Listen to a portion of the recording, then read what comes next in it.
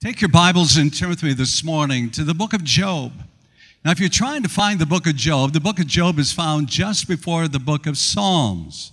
So if you can find Psalms, Psalms is right there, kind of in the middle of your Bible. Just go to the left, one book, and you're going to find yourself at the book of Job. And we're going to look at Job chapter 42, verses 7 through 10. This morning, we're going to talk for a few moments about the key to restoration. I believe there's not one of us in this room this morning that does not have a relationship of some level, whether it's next door neighbor, whether it's been, you know, a little bit something going on over a lot line, or whether it's a brother that you're not speaking to, or a sister that's estranged, children that don't have any kind of relationship with you. And uh, you're looking for what is the key? How can I go from where I'm at this morning, at this moment, where the relationship is at this moment, how can I get it back to a godly place and an enjoyable relationship once again? So, we're going to talk this morning for a few moments about the key to restoration. And of all books of the Bible, we find here in the book of Job, I believe the key, and the key is going to be found in verse 10 when we get to it. But let's look at starting with verse 7. It says, After the Lord had said these things to Job, he said to Eliphaz, Eliphaz the Temanite, he says, I am angry with you and your two friends, because you have not spoken of me what is right, as my servant Job has. Now take seven bulls and seven rams and go to my servant Job and sacrifice a burnt offering for yourselves. My servant Job will pray for you and I will accept his prayer and not deal with you according to your folly. You have not spoken of me what is right, as my servant Job has. So Eliphaz the Temanite, Bildad the Shuhite, and Zophar the Naamathite did what the Lord told them, and the Lord accepted Job's prayer. After Job had prayed for his friends, the Lord made him prosperous again and gave him twice as much as he had before. Now look at verse 10 one more time. It says, After Job had prayed for his friends. Now, that after, it almost sounds like there's quite a distance in time there. After he was completed with his praying for his friends, the restoration came. But if you read this in the original Hebrew language here, the Hebrew is saying it is almost happening simultaneously. At the moment that Job prays for his friends, that is the very exact moment that a divine restoration starts to take place. You know, during my lifetime, I'm sure like you, we've all read the book of Job many, many times. I personally, I've read it devotionally. I've also read it, you know, theologically and even read it in what we call a critical way, just line by line, verse by verse, trying to figure out what is this book all about. Yet, in all of my many readings, I have to admit to you this morning that I never really took notice of this prayer tucked into the epilogue of the book that bears Job's name. A few months ago, while I was reading the book of Job once again, it was in that moment that this prayer seemed to just leap off the page. After Job had prayed for his friends, the Lord made him prosperous again and gave him twice as much as he had before. For the first time, I began to see the incredible importance of this prayer and the miraculous results this prayer brought both to Job and his restoration, but also for his three friends. Now, in the next few minutes this morning, what I want to do is I want you with me to consider Job's prayer and how his prayer is the key to restoration of relationships in our lives. Now, first of all, I want you to take notice this morning how this prayer of Job was born out of a time of great loss and heartache. You know, I think it's fair to say that of all the people that have ever walked the face of this earth, Job has probably suffered more than any single man you could ever think of. For poor Job, it rained and it poured multiple calamities, and he experienced what I would call a flood of calamity and trouble. In a space of just a few hours, this wealthy, healthy, godly, this man that was a family man, loving his family and home, he lost everything. First, it was his wealth his oxen, his sheep, his donkeys. And as you read that, you know, it gets easy for us to say, well, that's just a bunch of cattle. Let's put it in modern context. In just a moment's time, he lost his savings account, he lost his 401k, they foreclosed on his home. Everything he had was gone in an instant, in a moment of time. This wealthy business mogul, which was one of the wealthiest in all the land, he lost everything. Financially, he was ruined in just a moment. Now, as bad as this is, it even gets worse for Job. All of his 10 children, the Bible tells us, was gathered together celebrating at their eldest son's home. And I can imagine it was like a family reunion. Everyone was there. All 10 children were all together. And they were either celebrating like a reunion or gathered together for a birthday party or some event.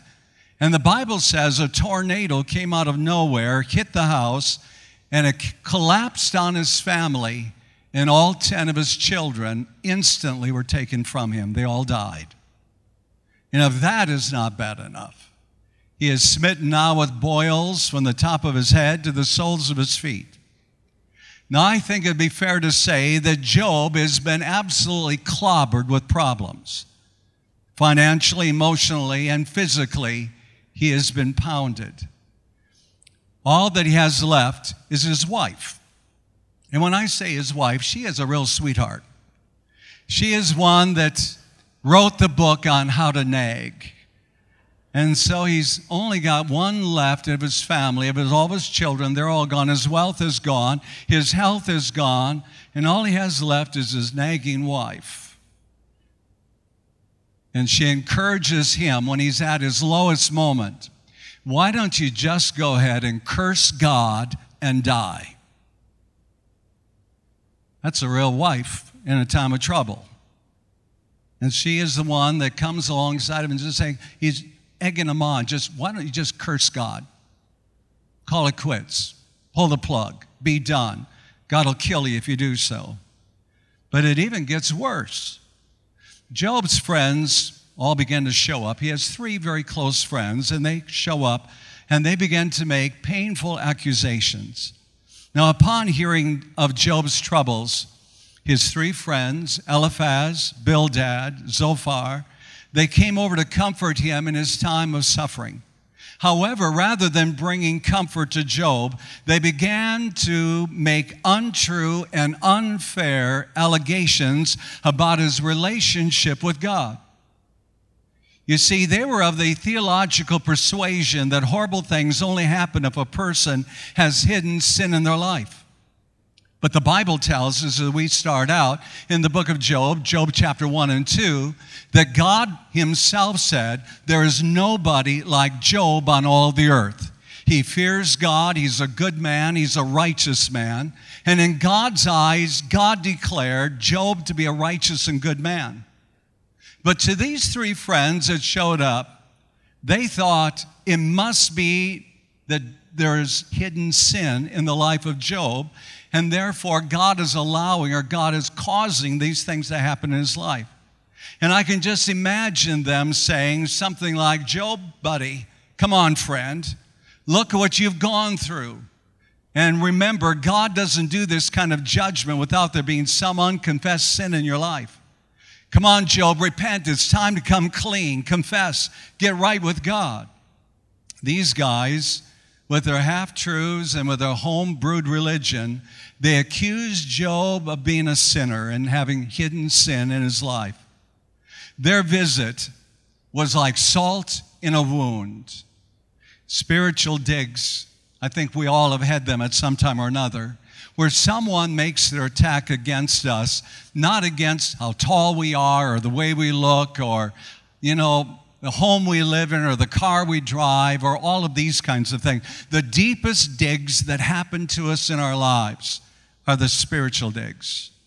When they say, Well, I thought you were a Christian. And they begin to rag on us about our relationship with God. And these spiritual digs, I believe, they hurt worse than any other kind of accusation. Don't kid yourselves this morning. These friends, these three friends of Job, when they came over to his home and they began to accuse him, they hurt Job and they hurt him greatly. Now I want you to see the key to restoration. Job made a decision.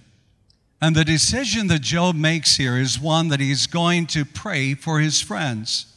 And not only pray for his friends, but he is going to go beyond that. He is going to forgive his friends. Listen to what it says one more time.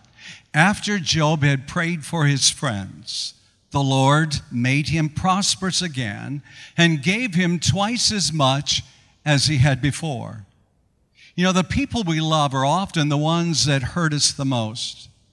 Yet, as much as they accused Job in that hour of his grief, he still considered them to be friends. How oft times we write people off how often we get so angry with them and, you know, we want nothing to do with them and we accuse them of being an enemy and to be a backstabber and all of these various phrases that we all know and know how to pull them out at the appropriate time. But for Job, Job considered these individuals, these three guys that had so hurt him, still to be a friend. And he made up his mind you see, to forgive and pray for those who have hurt us is a choice that we must make. Now, true forgiveness means three things. You know, oftentimes we talk about forgiveness, and we really, I think, have a shallow or a very poor understanding of what it means to truly forgive in a godlike way. First of all, to forgive means I will not mention this hurt again. You are forgiven. I will not bring this up. The next time when it seems as though you're repeating the old life and repeating some of the old things you've said about me or to me, or one more time when I sense that maybe you're opposing me in some area, I will not mention the past hurts again. You are forgiven. Friends, this is how God forgives us. In Micah chapter 7 and verse 19, it tells us that when we come to God and ask for forgiveness, His forgiveness is so perfect and so complete that He removes our sin as far as the east is from the west, as deep as the deepest sea, and never brings it back and never rubs it in our face again. When God forgives, God forgives, and He never brings it up again. And so when Job makes this decision, and remember, forgiveness and to pray for someone is not just an automatic thing, it is a decision that each and every one of us make. And so Job made the decision I will not mention this hurt again.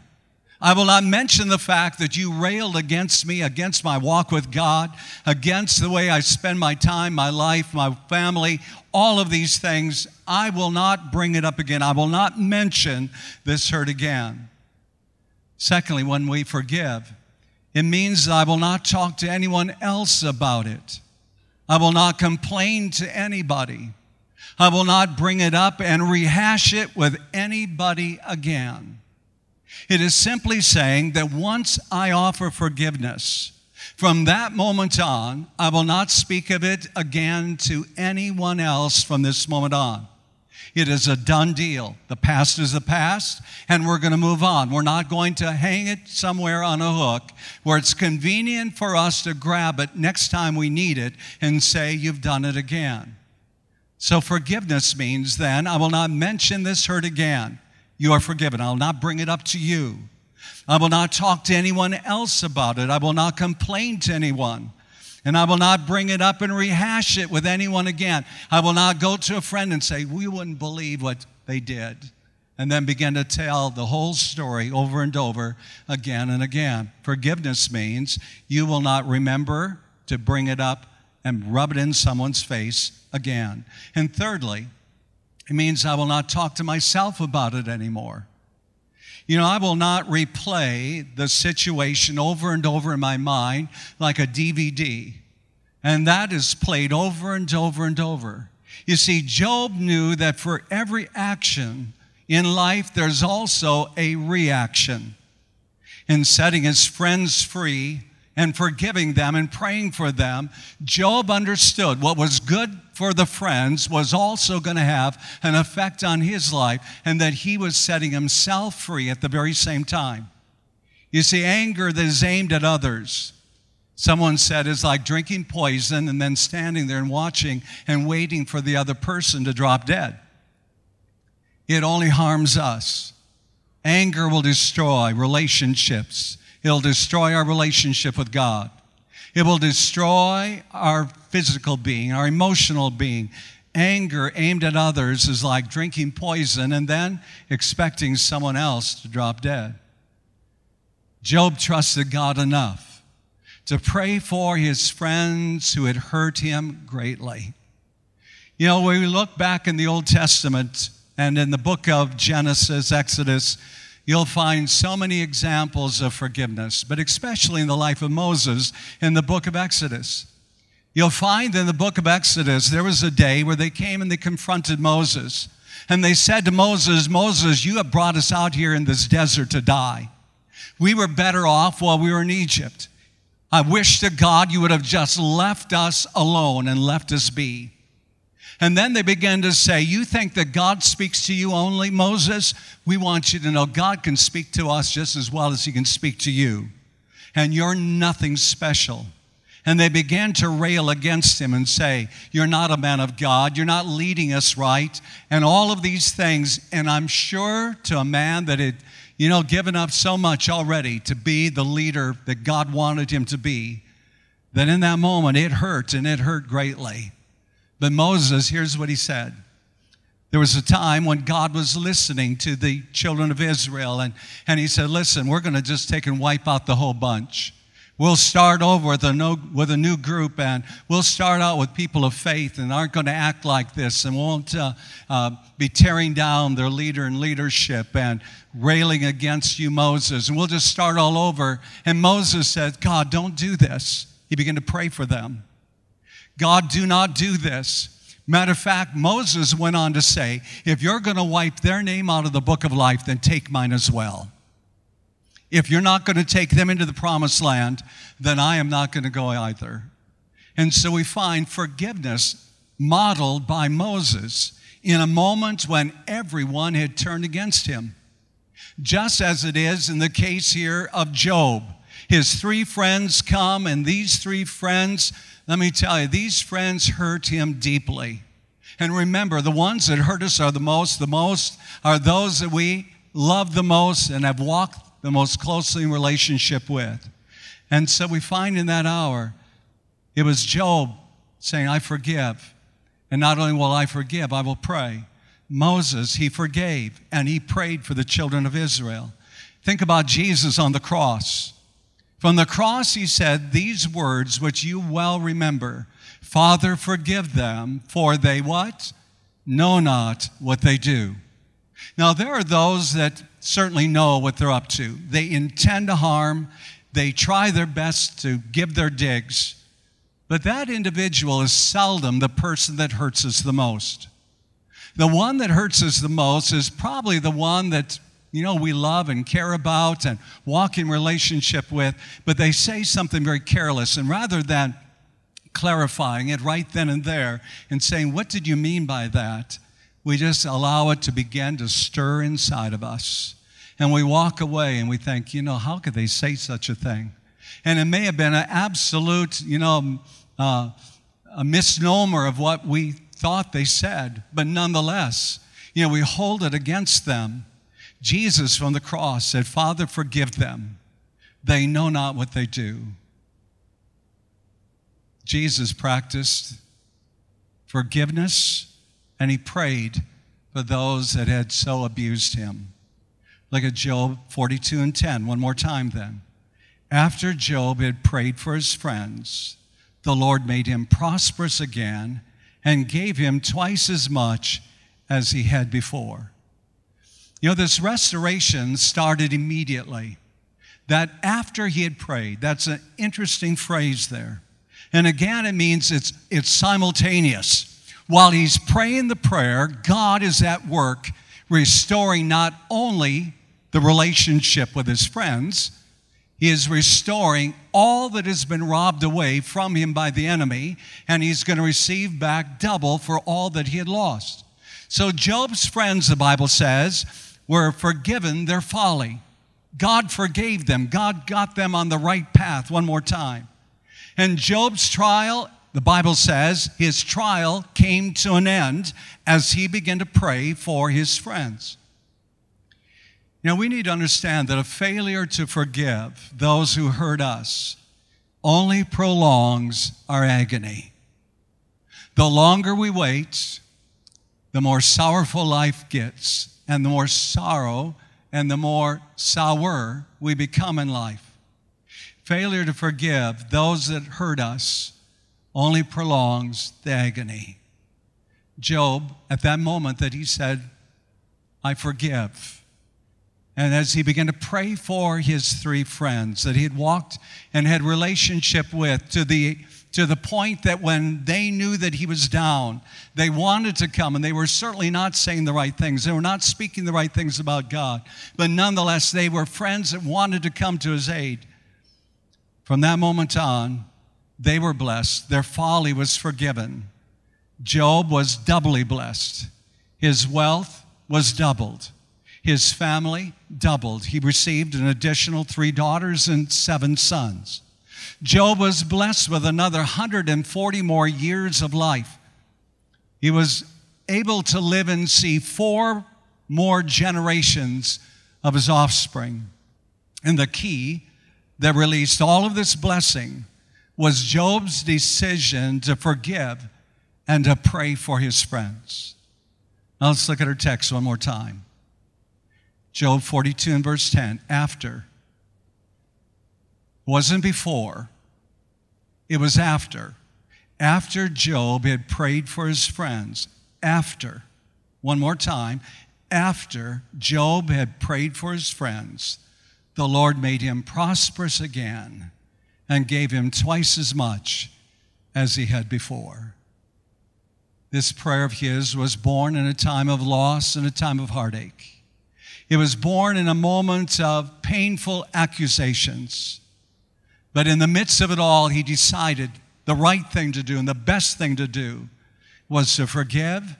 And the key to restoration was found in the fact he prayed for his friends. And when the restoration came, not only was his friends restored, God forgave them their folly, but in addition to that, the relationship between Job and his three friends, they were restored and Job, all that he lost, everything the enemy had robbed away, was returned back double.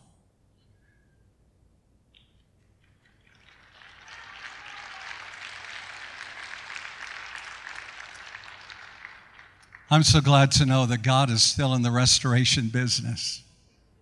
And I'm so glad that when we make a decision and we say, you know, from this moment on, I am going to forgive. And I'm going to go beyond that. I'm going to pray for my friends.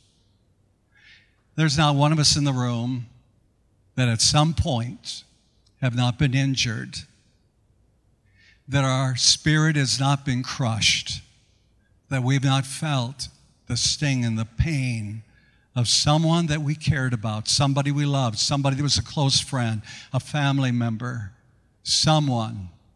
But I would say that in this room, there's not one. And I would dare say that by the Spirit of God, there's not one of us in the room that does not have some area, someone, whether it's a neighbor, a fellow employee, a past employer, a current employer, a former mate, a son a daughter, someone that's done great harm to you. The longer you wait, the more sour you'll become. And I believe this morning is a great time, a great moment to not only forgive, but to go to the next step and pray the blessing of the Lord upon them. Because as you pray the blessing of the Lord upon them, what happened to Job? Job was what? Doubly blessed. And if you're looking for restoration, it's all available today. And here's what I'm going to ask you to do. If you're in the house this morning, you're saying, you know, there's there's been some real stuff. It's caused me years even of anguish. And the sting has been deep. You've been hurt. Job was hurt. And it was by his friends. And you, up to this moment, you've considered them to be anything but friend. God is saying, if you'll just take them back in, and if you'll forgive, and remember what forgiveness is.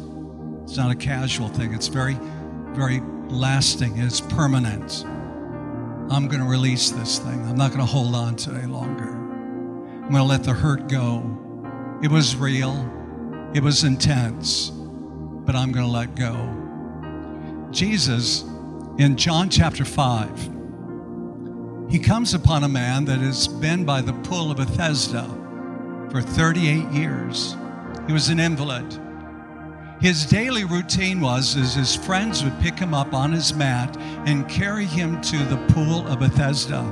And the Bible says at the pool of Bethesda there was a great crowd of impotent folk, meaning those that were lame and halt and unable to walk. It was quite a scene. And so Jesus comes to the pool of Bethesda, and there's a man there that had been there for 38 long years. And do you remember what question Jesus asked him? It almost sounds silly. Why in the world would you ask someone that had been 38 years by the pool of Bethesda? And the thought was at the pool of Bethesda, when the natural springs would begin to bubble up, they said that that was the angels stirring the water. And the first person into the pool, after the stirring of the waters, they'd be healed. And so Jesus, knowing this man now had been there for 38 long years, he asked him this question Do you want to be made well? You know why he asked him that? Because from that moment on, it was an entirely different lifestyle that was going to be required of him. He would have to get a job. No more all day long with his buddies around the pool, waiting for the waters to bubble up.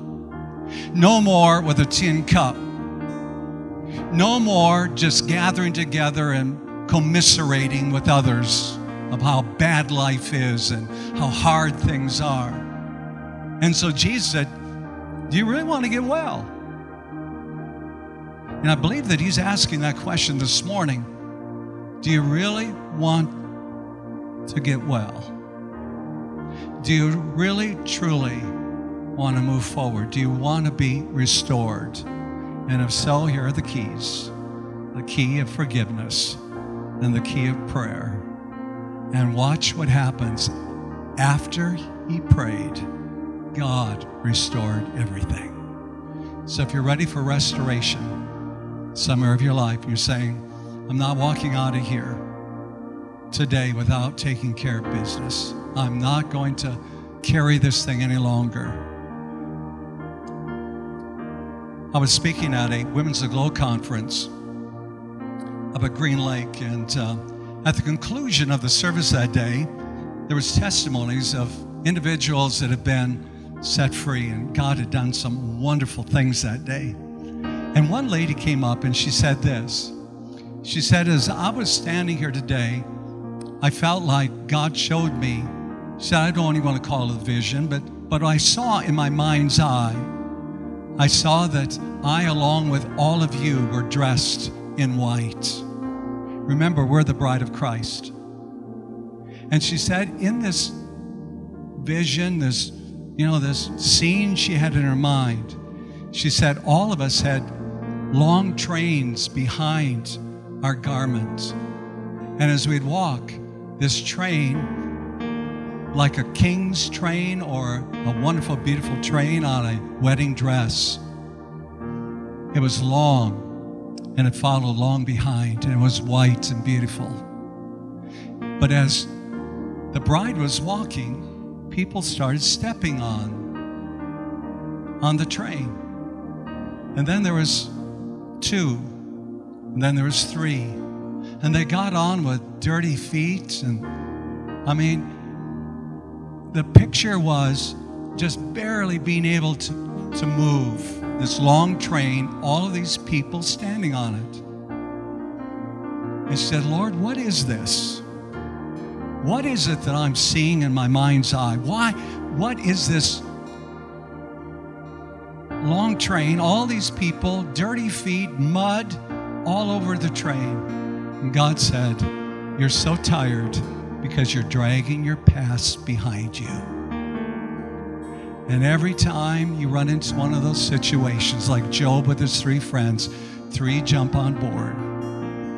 And after a while, we just get feeling like we're just barely, I mean, it's work just to move an inch. And you're just every day trying to pull along. If you're tired of dragging all this behind you, and this is the day, this is the moment that I believe God, as He did in the first service, He's going to do it for you as well.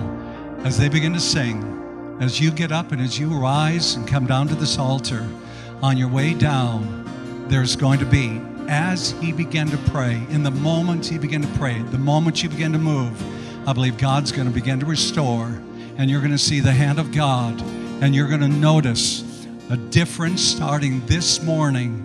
And God is going to restore and He's going to give you back all the enemy has robbed away. If it's family, He's going to give them back. If it's friends, He's going to give it back. Whatever the enemy has robbed away, God is going to say, Devil, give it back to him. And you give it back twofold. And I want you to come as they begin to sing. Just rise up and come to this altar.